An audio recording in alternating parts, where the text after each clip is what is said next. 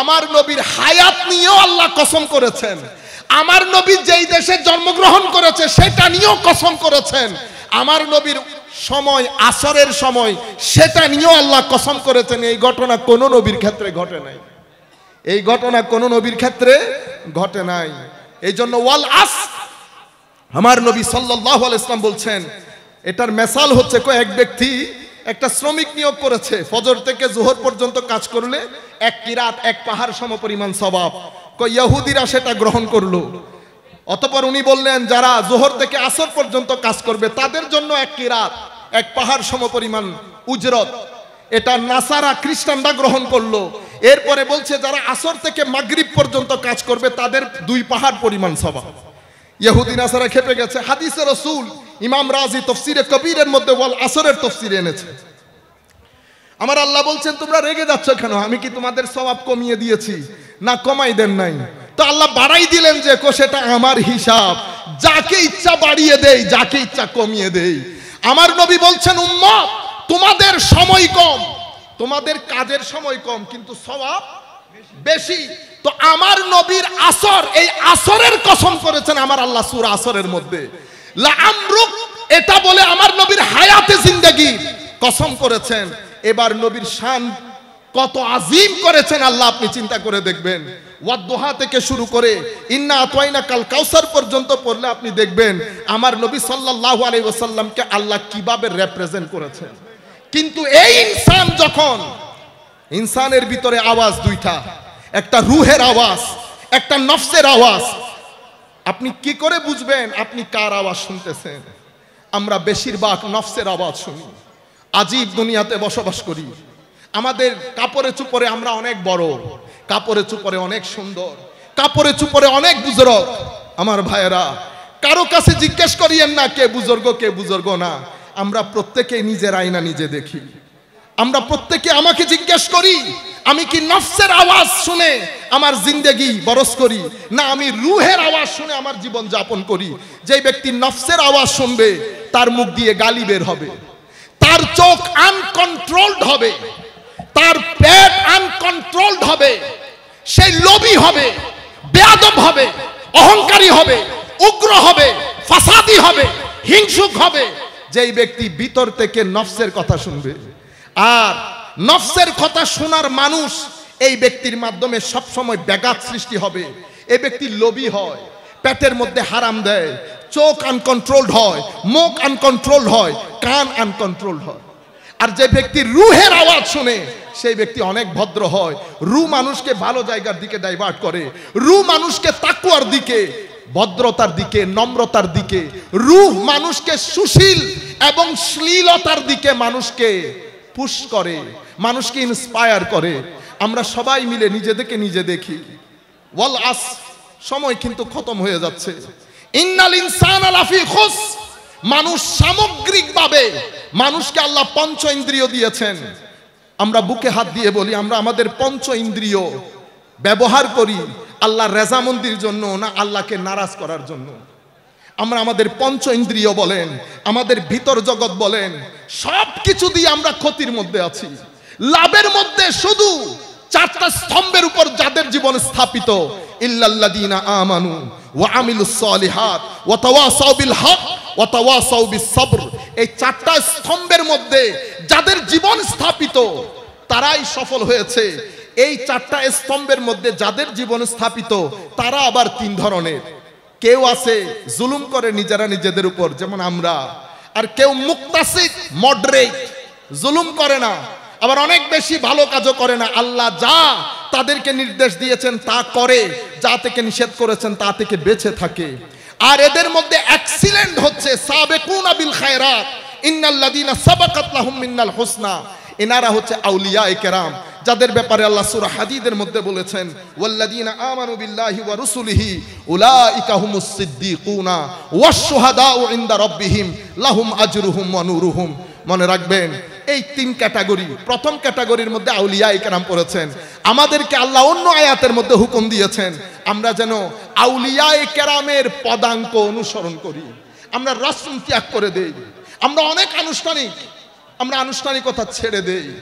পৃথিবী আস্তে আস্তে এক জটিল পরিস্থিতির দিকে চলে যাচ্ছে।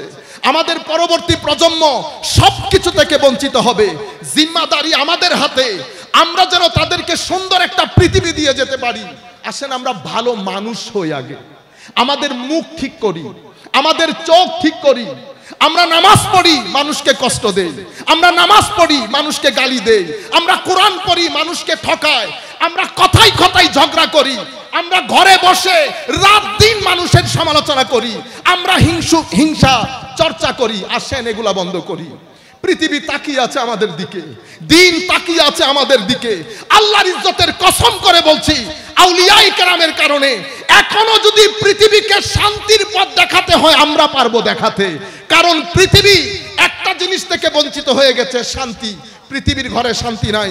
সুন্নতে ইলাহি হচ্ছে যেই জাতি নবীর তালিমাত ছেড়ে দেবে, সেই জাতি এই পৃথিবীর মধ্যে শান্তির সাথে জীবন যাপন করতে পারবে না। এটা আল্লাহর সুন্নত। আমার আল্লাহ বলছেন, দারাবাল্লাহু কারিয়াতান কারিয়াতান আম, কানাত মুতমাইন্না, ইয়াতিহা রাগাদান মিন কুল্লি মাকান। মনে রাখবেন, যদি আপনি চান আপনার যেগুলা পছন্দের জিনিস, প্রয়োজনের জিনিস, সব দিক থেকে আপনার দিকে ছোটে আসুক আপনার হাতে অপশন একটা। আমার নবী যেভাবে বলেছে, যে আন্দাজে বলেছে, সেভাবে কথা বলা, সেভাবে উঠা, সেভাবে মোয়ামলা করা, আমার নবীকে মিস করা। যুবকদেরকে বলি, আসেন নবীকে মিস করি। সোফার মধ্যে বসে, রাতের অন্ধকারে, নাক পড়ে পড়ে, দরুদ পড়ে পড়ে যেন আমাদের চোখ দিয়ে পানি বের হয়।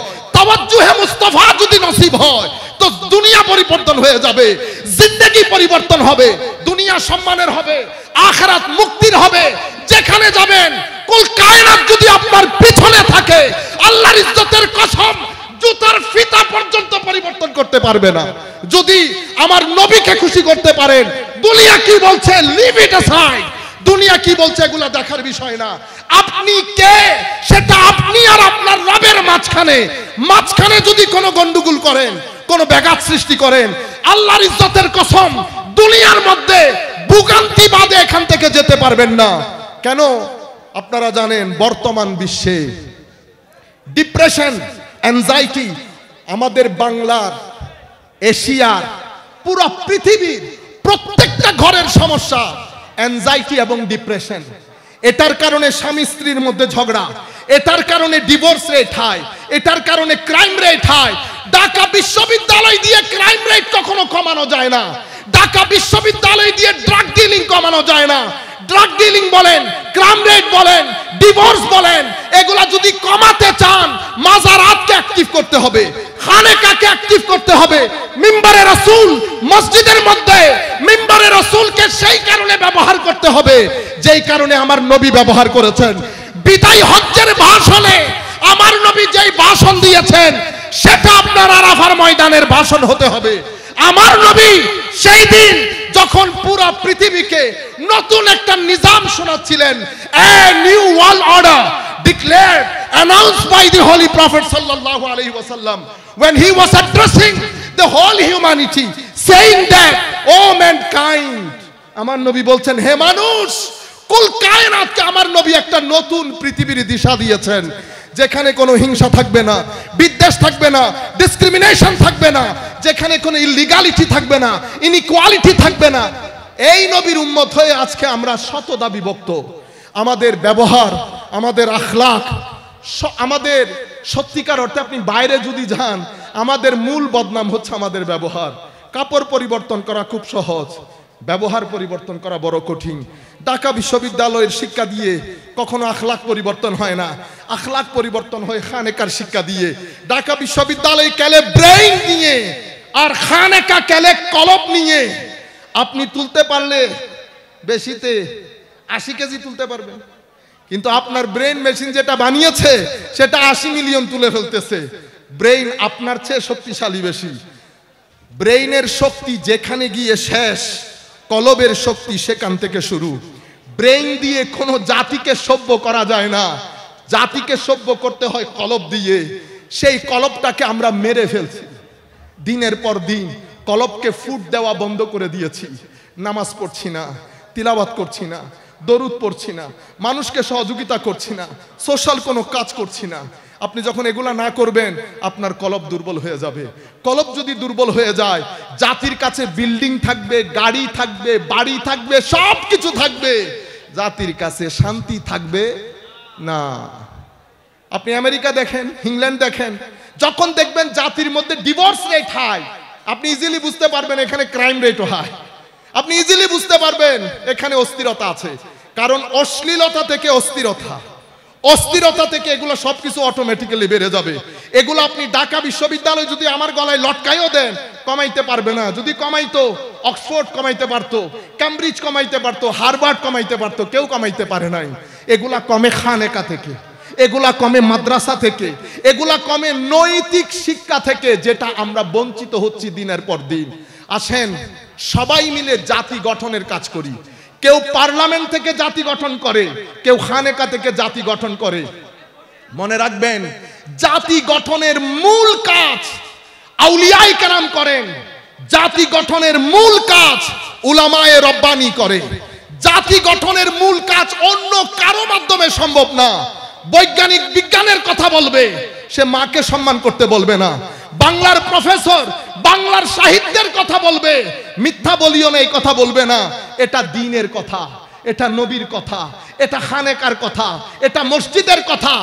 যার যার ডিউটি তিনি যদি সেখান থেকে তার ডিউটি পালন করেন, আমরা একটা সুন্দর জাতি গঠিত হয়ে পৃথিবীকে আমরা শান্তির মুখ দেখাতে পারব। যেই জাতি চেষ্টা প্রচেষ্টা করবে নিজের চরিত্র পরিবর্তনের জন্য। যেই বা জাতি লোভ বাদ দিয়ে নিজের ভাগ্যকে পরিপূর্ণরূপে আল্লাহর উপর সুপর্দ করবে।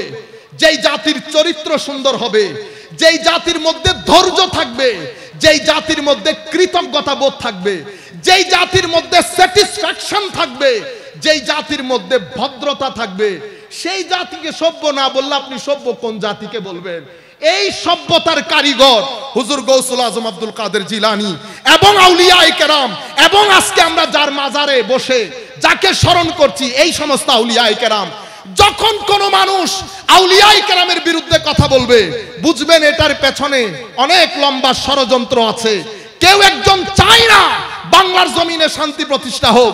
কেউ একজন চায় না মুসলমানরা মুসলমানের ইসলামিয়ের, ইসলামের রুহানিয়তকে ধরে রাখুক, এটা কেউ একজন চায় না। আরব বিশ্বের মধ্যে তেলওয়ালা দেশগুলা সফল হয়েছে।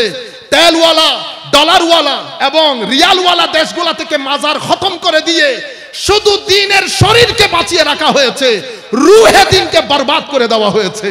রুহে দিন যেখানে আছে, রুহে দিন যেই ভূখণ্ডে মিশর বলেন, বাগদাদ বলেন, সিরিয়া বলেন, প্যালেস্টাইন বলেন, ইয়েমেন বলেন, যেই ভূখণ্ডগুলা রুহে দিনকে, আজকে রসুলকে, নিসবতে আউলিয়াকে ধারণ করে, সেই ভূখণ্ডগুলার অবস্থা আমি এখন আর বলতেছি না, আপনারাই জানেন কি হয়েছে।